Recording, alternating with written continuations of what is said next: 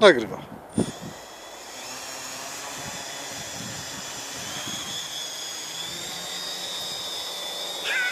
Ja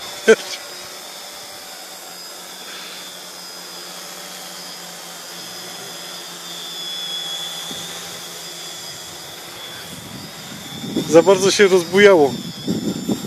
No bo to skrzydło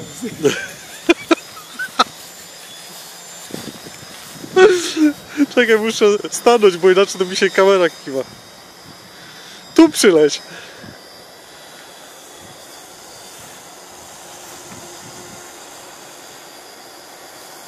Straszny opór stawia. No przecież powierzchnia jaka.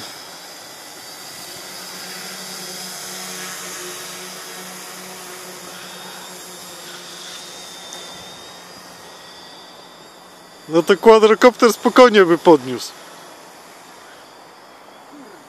Co? Ty, ale tu przyleć, bo ci zaraz za płot poleci.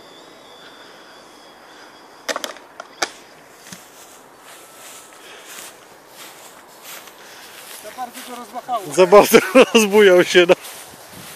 Tłusty kon.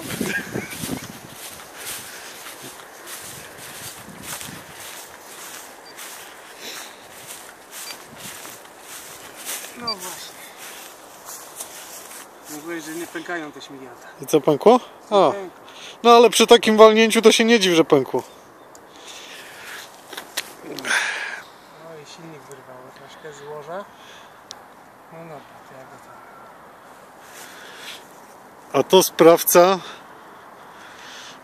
tego wypadku, katastrofy Lotniczy jest tam. lotniczej. Ale daje radę. Spoko.